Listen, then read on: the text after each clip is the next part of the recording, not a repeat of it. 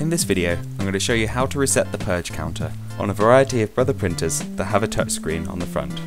A full list of compatible printers can be found below. This guide can be used to clear error 46, or the unable to clean error, and it's worth noting that this does not actually empty the waste ink tank on your printer, but simply resets the counter, allowing you to carry on printing. Before we start, I'd like to make you aware of some variants in how your printer will describe certain buttons that will be used in this process.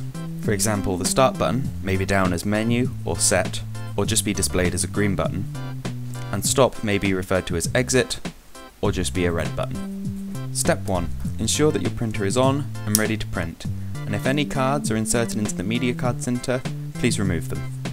Step 2. Now remove the power cable from the printer and hold down Start. Step 3. Reinsert the power cable with start held down. Keep start held down until please wait appears and then release. Your screen should now read maintenance. Step 4.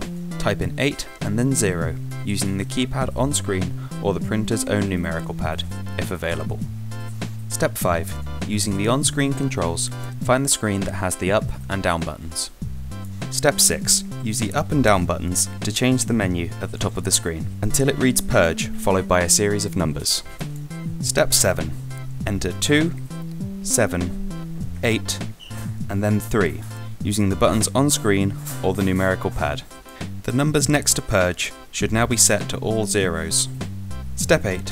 Press stop to return your printer to its normal operation. Your purge counter is now reset and you should notice the error message is gone, allowing you to print once more.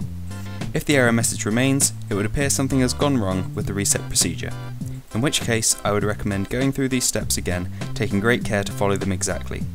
If the problem persists, please let us know, along with your printer model number, in the comments below.